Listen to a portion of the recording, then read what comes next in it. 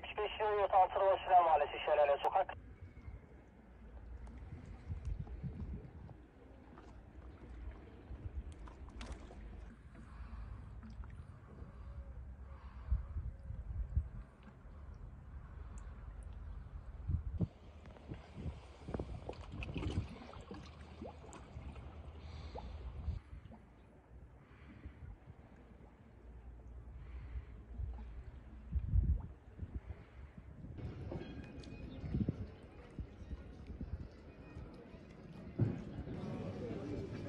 Thank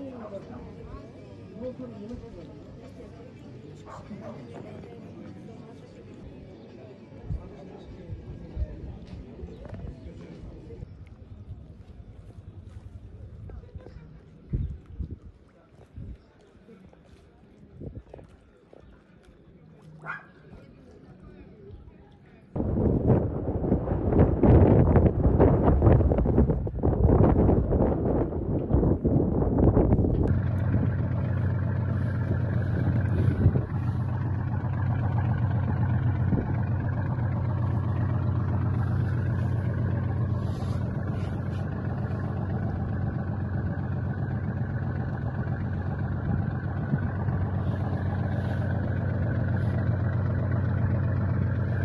İnanılmaz deniz anası var. Bize bir zararı yok ama rahatsız edici. Yani o olunca e, amaçladığımız balığı bulamıyoruz. Ağdan çıkarken çok kütleli bir hayvan olduğu için ağı yırtıyor, parçalıyor ağı. Yani dörtte biri ancak, dörtte biri ancak e, önceki tuttuğumuz balıkla şimdiki balığın arasında bir dörtte bir fark var. Amaçladığımız balığı tutamıyoruz. Amaç dışı balık Dörtte üçü yok mu? yok. Tamam e, dışarıdan geldi ama ortamda müsait.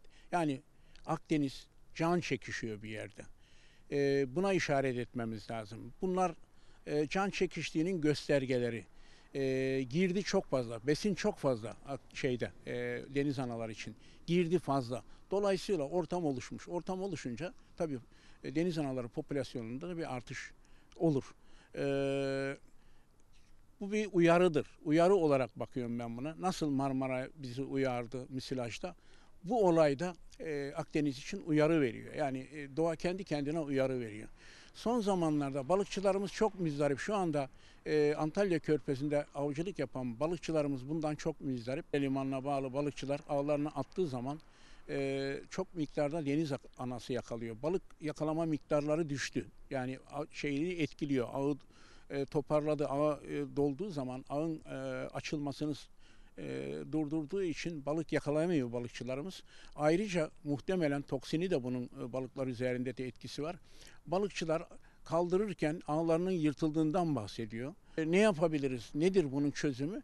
E, ne kadar sürecek bu şekilde sorularla karşılaştım. Tabii ki geçecek ama bunlar uyarıdır. Yani bizim e, doğayı kirletmememiz, doğa eski halinde olsa bunlar olmayacak. Bunları yaşamayacağız. Yani doğayı kendi haline bırakmamız gerekiyor. Geçiş dönemi inşallah sonra yaza sarkmaz bu olay.